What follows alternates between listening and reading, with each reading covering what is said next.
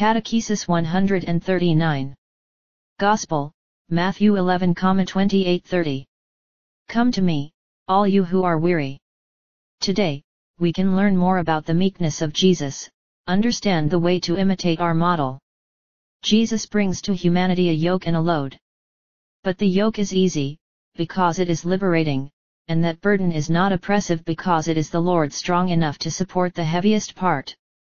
With its precepts and commandments Jesus does not crush, they, on the contrary, make us more free and we always make it easy existence. In the Gospel of the Mass, Jesus tells us that the load that seems heavy, it becomes light if we ask Him to support us. The Lord offers Himself as the model of meekness and humility, two virtues, two attitudes of the heart inseparable. Jesus turns to the people who follow Him harassed and helpless, like sheep without a shepherd, and earn their trust with the gentleness of his heart, always welcoming and inclusive. The Advent liturgy presents us Jesus meek and humble, so that we draw near to him with simplicity, striving to imitate him in this aspect while we prepare for Christmas. Only then can we understand the facts of Bethlehem, only then can we ensure that those who walk beside us accompany us up to the child Jesus. In a gentle and humble heart, as is that of Jesus, souls start with confidence. There, in his most loving heart, the multitudes find shelter and rest.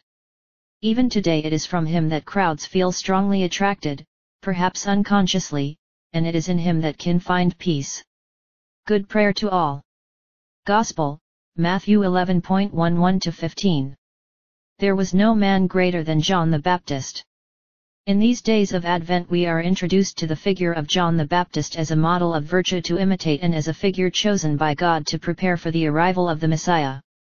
With him closes the Old Testament and you will reach the threshold of the New. The Gospel makes us think that the Church suffers violence by the powers of evil, suffering and violence as well soul every day, prone to sin as a result of the fall of our first parents. To follow the steps of the Lord in this life, and then contemplate Him eternally in heaven, it will be necessary that we fight constantly, until the end of our days. The Christian life is not compatible with the bourgeois, comfort and lukewarmness.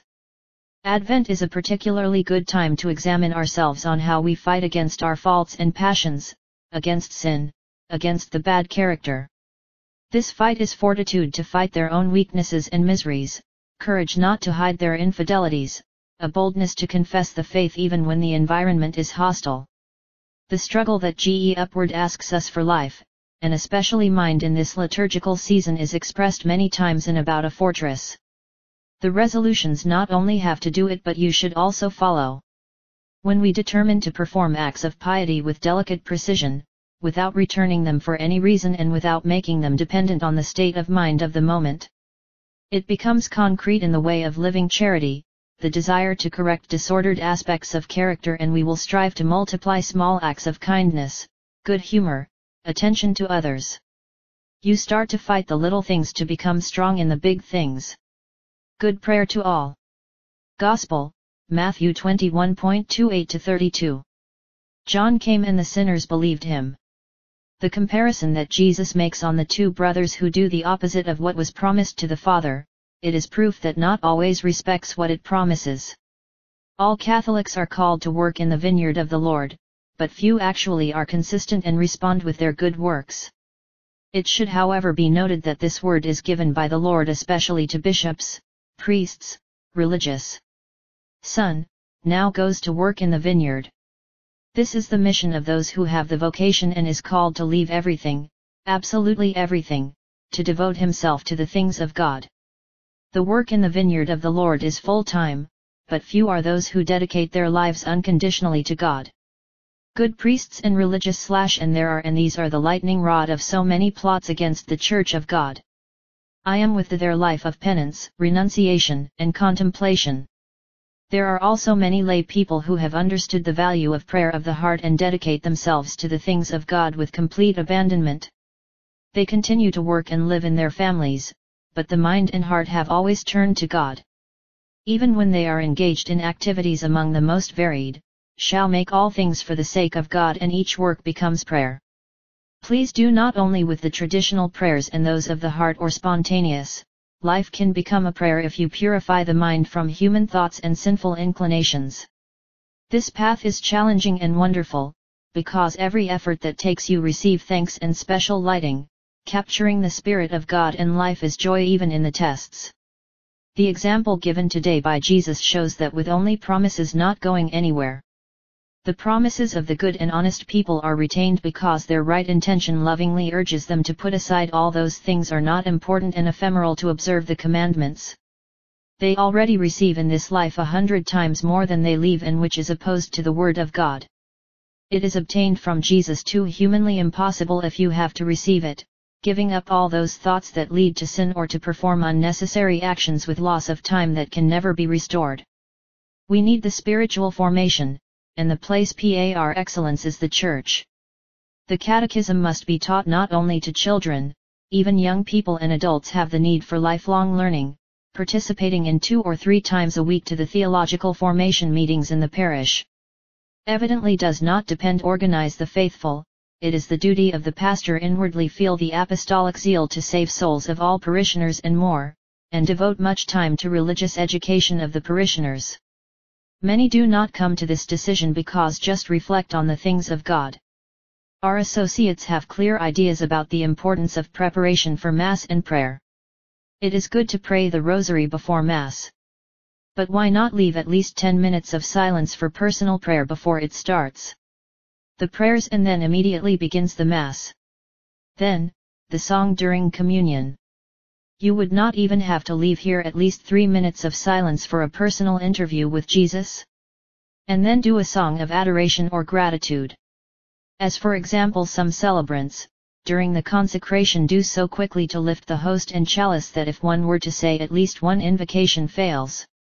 The first child to the father's request refuses to work in the vineyard but then meditating changing decision. He turned to the first and said, Son, go work in the vineyard today. And he answered, I do not want. But then he repented and went. Here is the importance of reflection and prayer to God for the strength to do works that seem difficult at first. Have no value the good words of Jesus and Our Lady if not then you do the will of God, as the second son who promises to work in the vineyard and then does anything. He turned to the second and said likewise. And he answered, Yes, sir. But he did not go. Our path is challenging and we have daily rewards. Simply think about the mysterious aid that constantly receive from God and the maternal protection of the Immaculate, who never abandon his children that every day recite her rosary. Good prayer to all. Gospel, Luke 7.19-23. Tell John what you have seen and heard. The sending of two disciples to ask Jesus about his identity, does not indicate a lack of knowledge that already had John the Baptist Son of God. And he looked at Jesus as he walked, and said Here Lamb of God.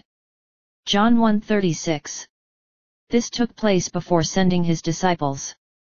The Baptist had no doubt but his disciples had the need to understand, why are sent to ask, Are you he who is to come or should we look for another? A question respectful and enlightening, in fact, Jesus does not take it as a challenge or complain about the reason for the presence of the disciples of John the Baptist. On the contrary, he is happy seeing them before him and to give a meditate response to them, shows signs that can only take those who come from God. Jesus was the Son of God but could not reveal it in that circumstance, it was premature, are the signs to bear witness to its origin. In that hour he cured many of their diseases, sufferings, and evil spirits, and gave sight to many blind people. Jesus works miracles of grace when the request for help is sincere, made with faith, accompanied by a genuine humility. The disciples of John the Baptist have these characteristics even if faith in Jesus was to come, but they had had faith in the command of John the Baptist, and in them there is a great desire to serve the Messiah. Are you he who is to come or should we look for another? This question many Christians today do not pose even if, knowing that Jesus is God and after 2000 years of untold divine signs that gave directly to believers, through his blessed mother, the saints' authentic witnesses. This question is now even ignored by many that should witness the holy life the divinity of Jesus. The great desire that we find in the disciples of John the Baptist, is no longer found in many Christians to the dissipated life and material interests that take precedence over spirituality. This is the grace time to stop and wonder which direction has taken the life you lead. Even those who do not commit major sins but pray little, and neglects the spiritual life, has to wonder if he deserves the miraculous signs that Jesus sent to those who want to remain in communion with him and want to engage observing the commandments and the gospel. The answer given by Jesus to the disciples of John the Baptist who will then follow him, is also valid for us and we have to reflect on these words, Go and tell John what you have seen and heard, the blind receive their sight, the lame walk, the lepers are cleansed, the deaf hear, the dead are raised, the poor have the good news. This is Jesus, he alone does these wonderful and not the fake clairvoyants and swindlers who pretend to be God's apostles.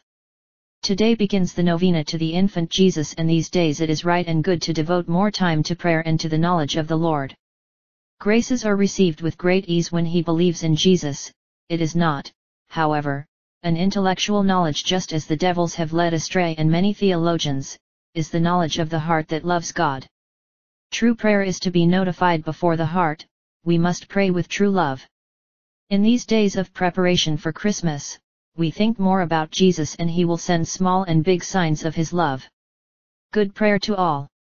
Gospel, Luke 1.57 66. Birth of John the Baptist. We approach to Christmas and we still have a bit of time to learn more about this unique and wonderful mystery. Each of us understands the Christmas spirituality that has, for example, those principles and teachers atheists or skeptics do not want to live the Christian joy of the birth of the Son of God in the flesh. Not only they do not believe in Christmas, but incorrectly impose thousands of children and young people their frustrations. The disappointments of life lead him to live perpetually in disheartened, and none of those who are far from Jesus lives through these painful trials. Many come to depression and often do not realize it, for some reason that distracts manage to overcome the fall while remaining distant from the light and truth. Atheists and sinners far from Jesus are causing me so much pain, every day I stay to reflect on their unstable and instinctive condition, an attitude that leads them to commit many sins and to live in a troubling moral confusion. Jesus also wants to save them and asks us to pray for all sinners. Every day I spend a lot of prayers for the conversion of those who are far from Jesus and, above all, for those who persecute you.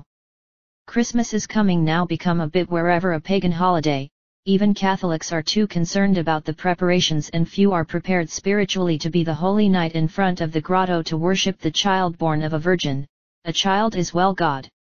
You who are completing the novena you are prepared and you have got to think about the baby is born and becomes an adult, he will begin his public life through preaching based on love, forgiveness, and mercy for those who repent will do great wonders why no one before or after him.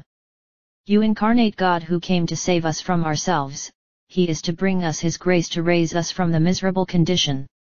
It is very sad the festive Christmas without baby Jesus in the heart or at least present in homes where we rightly comes together to share the joy and gifts. The greatest gift, even infinite, is not that child who wants to be born free in all hearts? We decide who will be our future will depend on our prayers and life choices we make.